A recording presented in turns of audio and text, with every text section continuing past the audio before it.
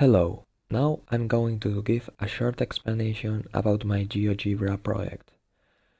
First of all, my project is based on a Da Vinci's invention. As many of you know, Da Vinci was an Italian polymath whose interest was focused on a lot of different areas. The invention I have chosen is a giant ballista that he designed. Nevertheless, I haven't studied the functioning of the ballista, but a parabolic launch with air friction. I have used seven variables. The throwing angle, the constant, the mass of the arrow, the friction coefficient of the air, the lengthening of the spring, which on this occasion is the lengthening of the rope, the gravity, and the distance of the island. Then we have got some intermediate calculations, which include the initial speed of the arrow, the horizontal and the vertical component of the initial speed, the horizontal and the vertical component of the speed, and the time when the arrow reaches the distance. According to the statement of the problem, our goal is that when the arrow reaches the distance, it has to be less than 2 meters high. The result shows us what is the height of the arrow at this moment. On this occasion, it is 0.3 meters high so we have achieved our goal. Then we have got two other calculations, the position of the arrow at every moment and the position of the backside of the arrow at every moment. The difference between them is that the first one shows the position of the front side of the arrow at every moment and the other one shows the position of the backside of the arrow. These two equations are necessary for the movement in this simulator. Here, under the other equations, we have got in purple four more equations which show the position of the balloon and the bottle. We can also show and hide information with these two buttons here.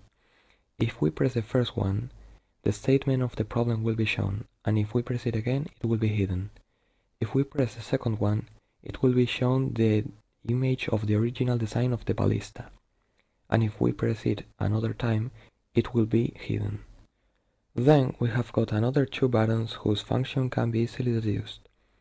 If we press start, the time will begin to run and the arrow will move.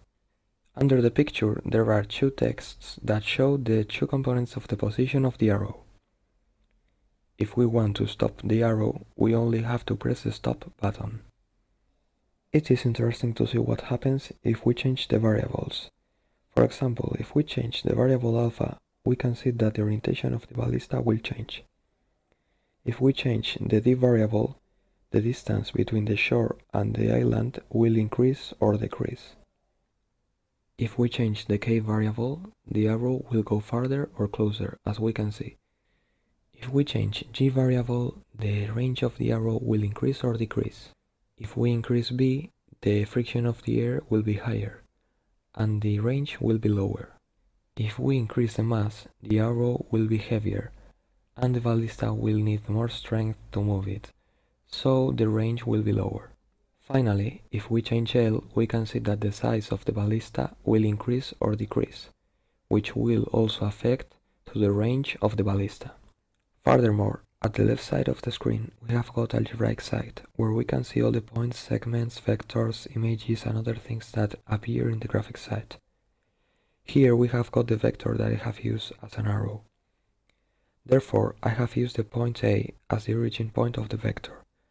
And then I have introduced lengthening as the unit of the vector and the arctangent of the division of the vertical component of the speed between the horizontal component of the speed as the direction of the vector. Well, that was everything I had to explain about my project.